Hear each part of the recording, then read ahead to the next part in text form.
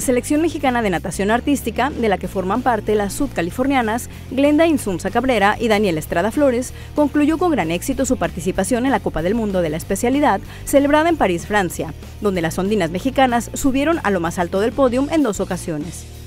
En su última participación, la escuadra mexicana, conformada por Nuria Diosdado, Itzamari González, Joana Jiménez, la sudcaliforniana Glenda Insunza, Luisa Rodríguez, Jessica Sobrino, Pamela Toscano y Regina Alferez obtuvo la medalla de oro en la prueba de rutina acrobática, acumulando un total de 251.78 puntos.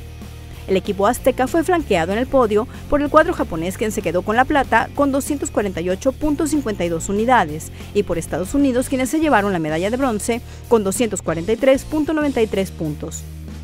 Esta medalla de oro se suma a la que el conjunto mexicano obtuvo días atrás en la prueba técnica de esta misma Copa del Mundo, que sirve como preparación para los Juegos Olímpicos y que se realizó en las mismas instalaciones donde se disputará la justa veraniega de París 2024. Durante la segunda fase de competencias dentro de la etapa macroregional de los nacionales CONADE 2024, Baja California Sur culminó su participación en la categoría sub-16 y sub-23 de atletismo con una destacada actuación por parte de Pedro Valenzuela, Manuela Ábalos Johnson, Cristóbal Higuera y Julián Álvarez, quienes lograron su clasificación directa a los nacionales CONADE 2024, los cuales se llevarán a cabo en Guadalajara, Jalisco en el mes de junio.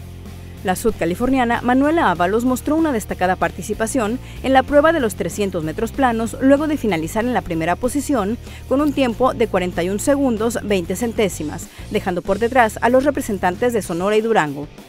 Además, Ábalos también logró impresionar a los espectadores en la prueba de velocidad de los 150 metros planos, llegando a la meta con un tiempo de 19 segundos 14 centésimas. En la rama varonil, Pedro Valenzuela una vez más demostró su espíritu competitivo al obtener dos pases consecutivos a los nacionales con la de 2024. Esto luego de finalizar en el primer lugar en las pruebas de salto longitud y salto triple, finalizando con distancias de 7.35 metros y 14.74 metros. Asimismo, Cristóbal Higuera y Julián Álvarez lograron su clasificación directa en las pruebas de los 300 y 400 metros con vallas. Cristóbal, en la categoría sub-16, concluyó con un tiempo de 41 segundos 56 centésimas, dejando a Tamaulipas y Sinaloa con el segundo y tercer lugar. Julián Álvarez en la categoría sub-23 cerró con un tiempo de 54 segundos 30 centésimas, resultado que le permitió su pase directo a la justa deportiva nacional. Cabe señalar que en esta segunda fase de competencias, atletas como Cristian Jiménez, Cristian Linares, Michel Castro, José Menchaca y Armando Alcántar se vieron destacados al terminar dentro de los tres primeros lugares, lo que aumenta la posibilidad de obtener su clasificación a los nacionales con la de 2024. Finalmente, con un desempeño sobresaliente, Baja California Sur se despide de la etapa macroregional de atletismo, con la mira puesta en el podio de los nacionales con la de 2024. Club Atlético La Paz cayó 3 a 1 ante Leones Negros de la UDG en el partido de vuelta de las semifinales del torneo de clausura 2024 de la Liga de Expansión. Un doblete de Edson Rivera abrió el camino para los melenudos que aprovecharon la localía para el global de 4 a 2 en el Estadio Jalisco.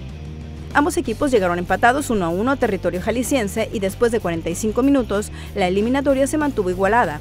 Fue este el complemento que los de Alfonso Sosa se adelantaron en el marcador gracias a un doblete de Edson Rivera en menos de dos minutos. El primero de la noche llegó al minuto 48 con un cabezazo dentro del área y el segundo al minuto 49 con un zurdazo de primera. Doble golpe para el equipo paseño que no encontró reacción pese a los dos ajustes realizados tras el 2 a 0 en contra. Edson Torres puso el tercero con un derechazo colocado al minuto 65, haciendo prácticamente imposible la misión de remontada para La Paz. Pese a ello, los de Raúl Rico encontraron el de la honra al 88, cortesía de Horacio Torres. Con esto, Club Atlético La Paz concluye una histórica participación en el Clausura 2024.